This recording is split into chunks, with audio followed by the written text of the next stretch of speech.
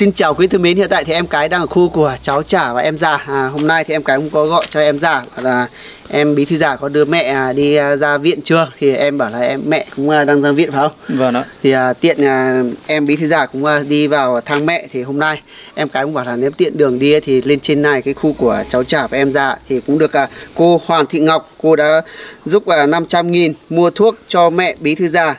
Bà giáo tên cũng 500 nghìn cho mẹ bí thư già. Cô Vũ Thị huyện Hải Phòng 200 nghìn cho em bí thư dạ già à, tức là cho mẹ em ấy. Vâng ạ. Thì à, hôm nay thì à, em bảo là em đang đi thăm mẹ ở dưới bệnh viện ấy thì à, Vâng ạ. anh cũng sẽ à, trao tiền đây luôn cho em. Vì anh không à, đi cùng em đi thăm mẹ bên bệnh viện nhé. Vâng để hôm nào mà mẹ em ra viện về thì à, anh sẽ xuống nhà than sao nhé. Vâng. Thế à, bây giờ cô à, xuống đấy ông đỡ một tí chưa? Dạ Ở dưới kia thì à, vẫn chưa thấy như như nào luôn bởi vì hôm qua vừa mới xuống ấy. à không được xuống. với lại à, cháu xính thì đang ở dưới kia em à, cũng bảo là hai chú cháu nếu mà ở cả dưới kia thì à, về phần ăn uống cũng khá là tốn thôi Ừ. thì à, để cháu xính ở dưới cái à, vừa rồi à, em à, vay mượn một ít chỗ của anh ấy thì à, không vay được à, ai nữa à, thì hai anh hai chú cháu mà ở dưới kia thì chi tiêu sẽ chi phí sẽ nhiều hơn so với một mình cháu ở dưới.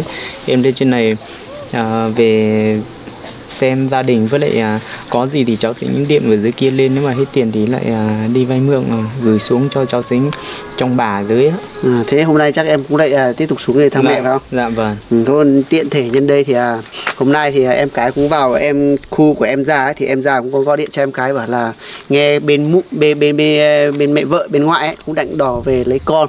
Thì à, tức là em cái không à, xuống đấy được à, để trao tiền cho em bí thư già thì cũng à, gọi điện cho em bí thư già đến đây. Thì em cái cũng sẽ trao luôn cho em bí thư già đây nhé. Thì à, anh trao đấy là cũng à, của cô à, Hoàng Thị Ngọc là 500 này bà giáo tem 500 này à, cô Vũ Thị huyện Hải Phòng cũng 200 vâng thì à, tổng đây là một triệu hai thì anh gửi cho em xong à, em có tiền để chi tiêu kiểu như là à, đi vào viện đây. Vâng ạ. Đây, ba. Đây đây là 500 nghìn. Một hai ba bốn năm. Đây đúng không? 500 nghìn. Đây 200 gì nhá. Vâng tổng đây là một triệu hai. Vâng. Thì à, anh cũng đưa cho em xong thì em cứ lấy đi xuống dưới đây xong thì à, có thể đưa cho em xính hoặc là cái tiền san xe đi lại này mua thuốc thang cho mẹ có Vâng. tiền đấy là cũng là giả là mua nhu yếu phẩm mua gạo đấy nhá vâng ạ nhưng mà đang trong tình trạng đang ở viện thì mình cứ um, cứ mua đồ ăn cho mẹ ăn đi vâng ạ vâng Vâng, cảm ơn cô Ngọc và cô giáo tin, cả cô Huệ. Vâng. Vâng, cảm ơn cô Huệ và ơn ba cô rất là nhiều đã à, luôn theo dõi và ủng hộ em già trong cái thời ờ, hiện tại mà em già đang gặp à, một chút khó khăn đó là mẹ à, em già đang ốm ở dưới à, bệnh viện đấy thì không biết bàn cách nào để giải quyết được. Với làm sao để mua thuốc than cho mẹ khỏi? Thì uh, em già cũng uh, qua đây thì em già cũng uh, xin cảm ơn ba cô rất là nhiều. Chúc sức khỏe ba cô luôn uh, có mệnh khỏe hạnh phúc và luôn luôn uh, an khang thịnh vượng trong uh, cuộc sống. Em già xin cảm ơn ạ đây nhá tức là em em cái cũng rất là muốn xuống cầu à, em bí thư gia đi xuống bệnh viện để thăm mẹ nhưng mà thôi em cái không sắp xếp được thì chắc cũng để à, hôm khác lúc nào à cô mẹ em bí thư gia ra viện mình sẽ đi vào thăm ở bên trong nha Dạ Thôi nhá vâng. tiền thì à, em Vâng. cứ cầm đi xong à, tí nữa mình còn mua thuốc thang hoặc mua đồ ăn cho mẹ dạ vâng ừ, thôi thì à, qua tiện đây thì em cũng à, đi cùng anh đi à, thăm hai bố con bởi vì à, có nghe anh nói bảo là à, em già không biết là có cái vấn đề gì điện cho anh nhỉ Vâng, tức là sáng nay à, em già gọi điện cho anh à, bảo là là anh vào đây à, vì có một cái tin ấy, tức là bên ngoại cũng gọi điện vào cũng là định vào lấy con đi ấy. vâng Thì vâng, em già một mình thôi em già cũng không biết là phải phải nên cho con đi hay không. vâng Vì anh em hàng xóm thì các bác ấy cũng không ai ở nhà hết rồi. vâng Thì, thì hôm nay anh cũng chạy vào đây xem là nếu mà bên ngoại nó xuống vào không nếu mà xuống thì có thể à, bảo cái hướng ấy, đưa ra một cái hướng kiểu như bảo em già đi gọi bên thôn ấy. Tức là mình à, không có anh em nhưng vẫn gọi gọi Vâng. cán bộ thôn về cùng để giải quyết đây vâng. Ừ. bây giờ thì xe cũng à, chưa chạy ấy. Ừ. thì em đi lên huyện thì cũng khó đợi thì em đi cùng anh đi thăm hai bố con. Ờ, được thôi. Thế thì anh em mình cứ đi vào một lát Vâng, xong à, vâng. em đi à, vào mẹ viện cũng được. Vâng. Đây nhá các bác ạ. À, hôm nay thì à, cái cuộc gọi của em già thì em già cũng rất là à, sợ rất là hốt hoảng kiểu như là mình, em già cũng lo ấy. Dạ Ờ, vâng. Một mình mình đã con nhỏ nữa mà à, cái đợt vừa rồi cũng bị à, bên ngoại người ta vào đe dọa một lần rồi. Thì em cái anh em mình cũng bảo là lúc nào mà nếu mà thấy à, bên ngoại vào trực tiếp thì mình phải gọi thôn vào để à, giải quyết kiểu như là xử lý ấy. Vâng đừng như mà cho kẻ cho cản cho cái bên ngoại người ta về là à, đe dọa nhiều quá thì mình cũng à, không yên tâm ấy. Thật sự là nhà của em già thì cũng có nhiều phía áp lực cho em Vâng. già. Ừ. hai bố con thì đan yên đan lành mà nhà ngoại tự dưng nợ ghen tị các kiểu anh Ủa, đây mẹ em đâu ở đóng cửa nhỉ? Đóng cửa. Chắc không ai nhà mình đi xuống nhà cái lều của hai bố con này. Vâng. Đây có thỏ con này này. Thì ở bên này cũng à, không ai ở nhà đóng cửa hết rồi. Nhưng mà về phía à, đang em già rất đang ở nhà gọi điện cho em cái đang có mở cửa. Em già đang à, dọn dọn cái gì? Đang à, đất đất vào mía sao nhỉ. Vâng vun vun à? Vun góc mía. Vu à, đất vào mía gốc mía. Chào em gì à? Đây đó nha, đây vào mía. Đang làm này. tức là đang uh, vu đất vào gốc mía. À Vâng. Ủa? à đây. Cô vẫn đang ở đây trông con à? Mẹ em đang trông con đấy à? Vâng. đây thấy à, hai bà cháu đang ở đây này à, đang à, bóc sứa cho con à, cho cháu uống vào Đi, sữa. đây tức là trẻ con có sứa uống thì không thấy khóc nhè rồi. Vâng ạ. Ngon không? Có cá thế à? Hả? Ừ. Không sợ mình nhỉ? Sợ sợ. Đây rồi bây giờ cô đang à, cho con à, của em già đấy uống sứa này. Em em cái anh mình xuống đây thấy em già. À đúng rồi. Mình à, cứ làm cái chịu khó cái lấy đất để vun vào xong thì à, cái miến nó mới mọc lên kiểu tốt phải không đúng không? Những cái miến này là mẹ trồng hay là em trồng Mẹ chồng à mẹ trồng nhưng mà mình cũng Mình chăm sóc phải không? Chăm sóc. Bởi gần nhà mình thì gần đây xong lúc là chăm sóc là làm cỏ sạch này. Mía mía là phải vun góc như thế này anh ạ. Vâng. để như cây con ấy cây non nó còn à, mọc lên nó còn phát triển tức là mình à, chặt xong ấy chặt cái cây nào ăn xong thì kiểu như mình cứ lấy đất lại à, lấp vào cái cái bên dưới ấy. Ô, em làm xong chưa ừ. sắp xong hả ừ, không à, em già anh à, sáng nay em gọi điện cho anh bảo là nghe bên bên ngoại định à, định vào làm cái gì nhỉ Anh ơi, Hả? hôm nay mẹ vợ vợ bố mẹ à bố mẹ vợ không đúng rồi Tức nó bên- về đây lấy con. Nó bảo em đầu 20 triệu thì nó bên đưa con cho em nhưng mà em không có tiền em không làm nhân được à tức là nhưng mà bố mẹ bố mẹ vợ cũng xuống vào đây luôn? Vâng. Ủa dồi. thế bây giờ này bố mẹ vợ đi rồi hay là ở đâu? Đi rồi. Ồ đây à. Cô bác ạ thì à, lúc em già gọi điện cho em cái thì cũng à, không nói nên lời. Em em già cũng à, thực ra rất là khổ và là anh ơi bây giờ em lại có chuyện rồi trong gia đình em cũng rất là phức tạp này. Thôi bây giờ thế mình dừng dừng dừng tay đi vào đấy xem nào. Hỏi mẹ này em anh thấy mẹ em đang à, à, trông con đây này. Và mẹ cho con tiền sáng đây mẹ À. là mẹ không cho mẹ mẹ sang bên kia nhưng mà em bảo này ừ. được cái em làm cái kia xong đó à, tức là em đang dọn ở bên à, kia xong thì em bảo mẹ à, vào à, giúp trông con hộ được không? Thôi bây giờ anh bảo em này à, bây giờ ấy em một mình phải không con còn nhỏ nữa. Mẹ em cũng một mình ấy. Còn mấy em trai của em thì em trai cũng hay à, đi làm về xong nó đi hay đi chơi hay đi đâu rồi. Bảo mẹ cứ à, cố mình à, giúp mình trông con nhá. Là vâng. Giúp mình trông con này xong rồi đi cô đang bé bé cháu thôi. Này cho bé ra ngoài trông tốt liều kìa.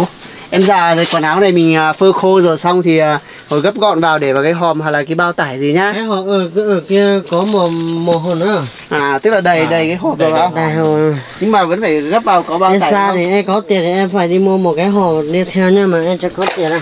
Ờ, lúc nào có tiền thì nhá. Cái tiền hôm trước à, chắc là cô bác lấy anh đưa cho em thì à, em cũng mua sữa mua cái đồ cho con à. mua một bao gạo. À mua gạo rồi không? Vâng.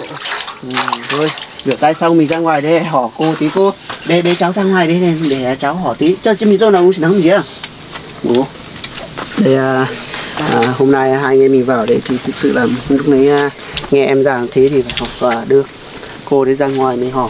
Ở bên trong túc liều thì à, thất hơi thất tí hơi bí bí à đây này. Thế à, đây này cô ơi. Cô cháu bảo này bây giờ em già nó một mình con còn nhỏ ấy thì à, hôm nào kiểu như em già đang làm việc gì bận thì cô cũng à, giúp trông trông cháu hộ ấy. Lầu ấy nè lò ní ở chú há ơi tết dọc thầu từ mình nhủa nè anh dù chi nữa múa chi mà áo pam thì chúng nhiều ấy. Em sửa mà. Ừ chuyện này thì tàu tệ uống hết rồi ôi rồi sửa không đâu sửa đâu rồi nên là em già thế lúc lúc nãy em bảo là bên bên ngoại à, cũng vào đò tiền thì mình à, lấy tiền giả rồi hay là thế nào? Ừ, mình không có tiền nhưng mà Hậu anh vào đây anh có tầm 20 triệu không?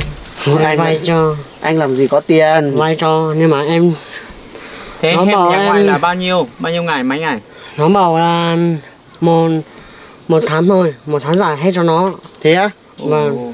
Ủa số nhưng mà em em hứa không em có hứa bảo là em sẽ giả hay là em à, bảo là em không giả Em không giả đâu. em không giả Con nó em không giả thì nó phải co đi theo vợ luôn. à. Nên là như thế này em không biết làm gì rồi.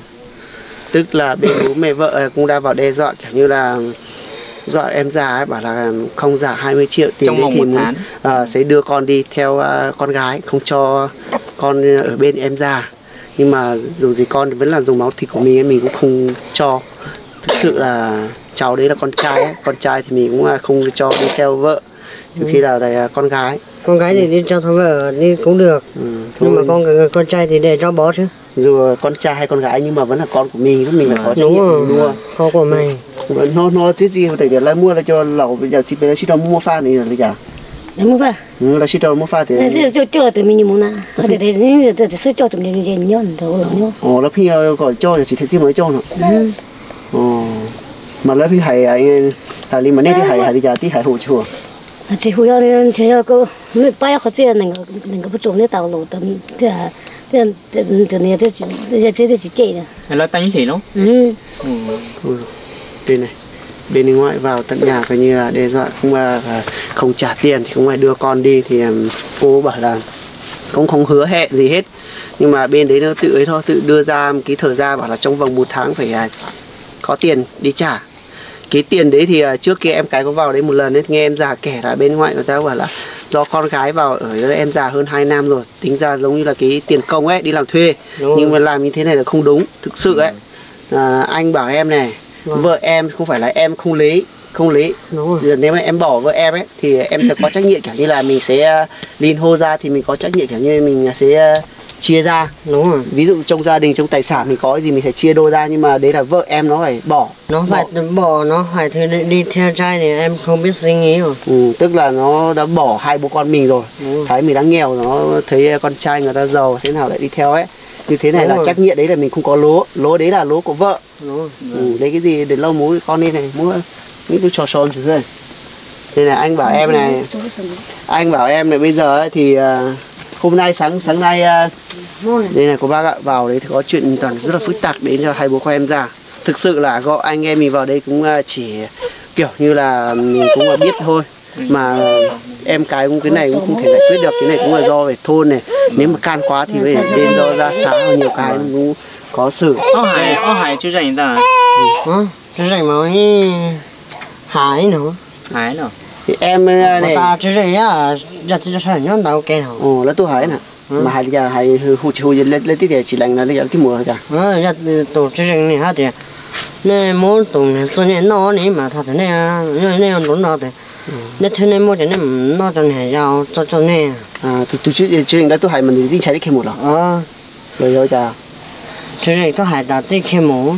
à để tức là em già bảo là cũng à, lúc mà bố vợ vào đây làm rất là can đét kiểu như là ừm, đe dọa làm cho em già sợ thì mới gọi bên trưởng thôn vào trưởng Chứ thôn thôi thế tổ này lào chú rảnh nhà gõ tổ đi, tổ công an mấy thôi. à đây công an viên cũng vào đây này cả trưởng thôn công an viên vào cuộc thế nhưng cũng vào đây xong thì chắc cũng, à, cũng bảo với bên mẹ bố mẹ vợ mà. Bố mẹ vợ mới sợ kiểu như là cũng không dám thế thì mới trốn mình Vâng. đi. Vâng. mình đi về thì là anh bảo em này bây giờ ừ, sau này bên đấy mà có việc gì người ta gọi điện người ta muốn vào như thế nào thì phải gọi thôn. Vâng. Ờ, gọi bên thôn vào đây cùng xử lý. Vâng ừ, còn à, hai anh em mình ấy, ví dụ chú già với anh ấy thì cũng không thể rửa giải quyết được kể qua là mình cũng về đây để xem là cái hướng nào để cho đừng có mà áp lực đến cho hai bố con em thôi. Vâng. Vâng. Về cái vấn đề Các anh chỉ là cầu nối để giúp đỡ em với con là ờ, làm sao nhận được quà của các bác là gửi đến cho hai anh thì hai anh đưa vào hai bố con thôi chứ. Hai anh không cái việc nhà là hai anh rất là khó giải quyết. Hai anh cũng ừm, giải quyết được nhưng mà vẫn phải nhờ trưởng thôn. Để à, Bởi vì khác thôn. bí thư dạ đây Vâng. nói chung là không phải công dân của mình không nên ấy Vâng. trừ khi là đấy thôn nào vẫn vẫn có ý mà một thôn cũng có trưởng thôn các ban ngành người thể thôn ấy để cho thôn đấy khác tự xử lý.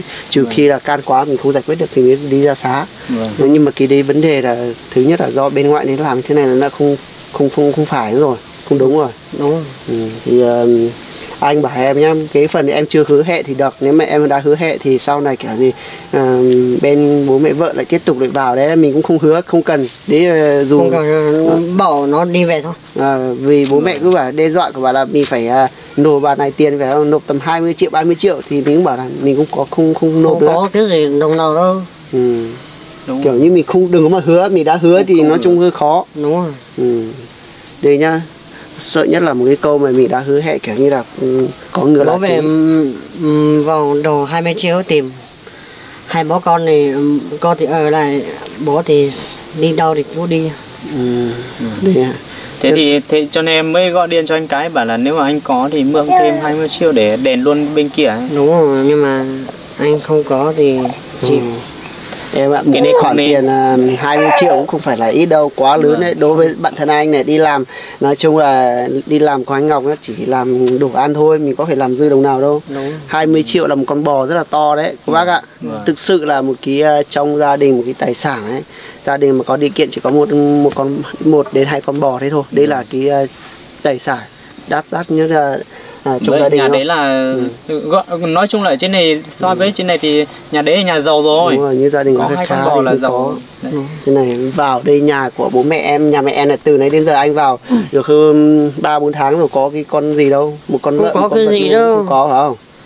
Chỉ có mấy con đấy chim bồ câu thôi. Thì bây giờ mà mình mà cứ về đòn khoản này tiền nữa thì làm thế nào mà trả được? em không biết rồi mà suy nghĩ thì đi ăn ăn lán chết rồi À, thôi em đừng có mà nghĩ cái xấu cứ là, là, là tự ái quá nhá. Tuy uh, đây cô bác em già bảo là nếu mà bị nhiều phiếu áp lực vào quá thì em không chịu nổi được thì em muốn đi ăn lá ngó này. Thôi anh bảo em này, anh khuyên em này. Anh sợ nhất là em à, không có ai vào để cùng em tâm sự ấy thì em lại à, tự ái quá lại đi ăn lá ngó thế này, đi nghĩ cái xấu thì không được. Bây giờ mình phải nghĩ tương lai về con con của mình cơ. nhưng mà em phải suy nghĩ như là vẫn co bình thường nhưng mà sợ nhất thì ừm, bố mẹ vợ kia nó bảo mẹ đầu tiền thì mình không trị được mình đi ăn lắm chết thì khó hơn cho mình á. Thôi không phải làm như thế này chứ em làm thế này sau này con của em thì ở với ai? Bây giờ mẹ em cũng có tuổi rồi phải không? Đúng rồi. mình đã là thanh niên mình phải mạnh dạn lên phải không? Mạnh mẽ lên. Đúng ừ. kiên quyết kiểu như sau này nhá anh đã bảo em nhiều lần rồi sau này có vấn đề gì cũng phải gọi từ thôn nhá. Vâng. Ừ. tuy anh em mình vào đây thì ờ, cái gì mình à, giúp được thì mình chỉ giúp thôi giúp cái, cái hướng định hướng cho em đấy thôi. Mình cũng không thể là giúp được cái à, bàn đồng tiền thật. Cô bác ạ lúc đấy em già cũng có hỏi em cái một câu bảo là em cái có tiền không? Thế vay mượn tầm 20 triệu. Một hai trăm thì có có khi là có nếu mà 20 triệu thì lấy đâu ra? Vâng. đó, anh đâu ra tiền mà 20 triệu. Nhá. Bây giờ cả cô nữa này cô này bây giờ mình trông cháu cẩn thận đấy không à, vợ em thì bây giờ không cho về nhưng mà bên ngoại bây giờ sau này bắt đầu thấy nó về như thế nào thì gọi thôn. Mình cũng không à, không phải nói nhiều gì hết. Đúng rồi. Ừ, gọi thôn khác là à, cán bộ thôn khác tự vào à, nói chuyện thì làm việc với à, bên ngoại đấy nhá. Đúng rồi. Ừ. nhá ăn lẩu nhá xuống với nhiều cho râu nhá. Xuống rô. Thôi bí già bây giờ nếu mà về cái vấn đề hai bố con à, em già thế thôi nếu mà chú Vâng. hộ à, vâng đi à, xem mẹ nữa thì cứ đi nhá vâng vâng vâng thế thì em đi trước anh vâng thì anh em nhé. à, cứ đi Vâng. vào cố gắng đi à, trong mẹ ở bên bệnh viện hôm Vâng. nào ra viện thì anh sẽ xuống đây thang ở dưới nhà sau Dạ vâng, cảm ơn anh nhiều.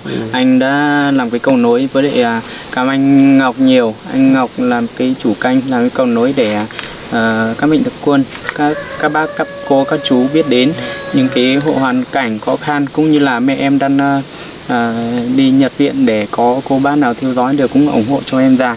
Thì à, em già cũng cảm ơn cô bác rất là nhiều.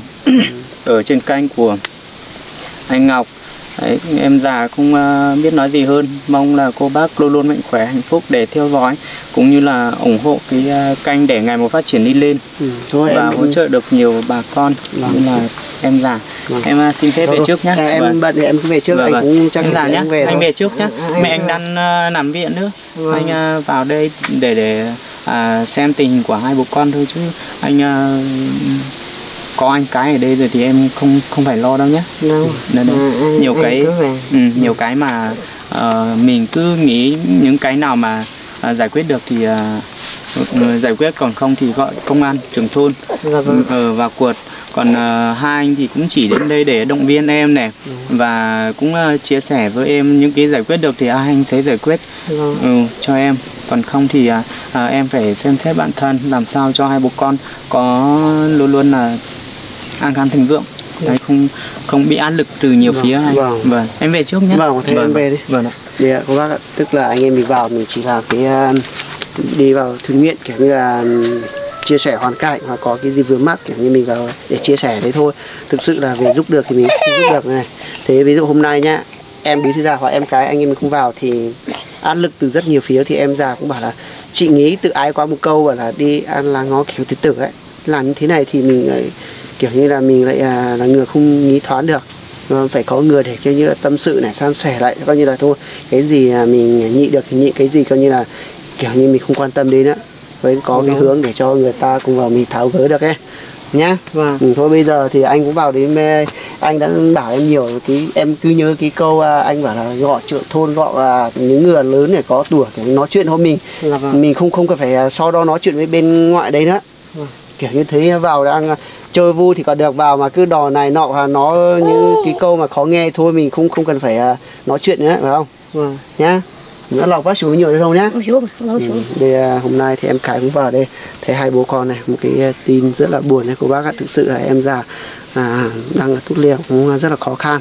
À, hôm nay mình vào thì cũng được cái tin đấy thôi chắc em Khải cũng không giúp được cái gì ạ chỉ có chia sẻ hoặc là sang chia sẻ cho em già đỡ lại buồn thôi. Giờ này em cái còn lại đi vào cái à, hoàn cảnh khác thì, thì chắc em cái cũng xin phép dừng video tại đây ạ. Xin chào quý khán giả ở cái video tiếp theo.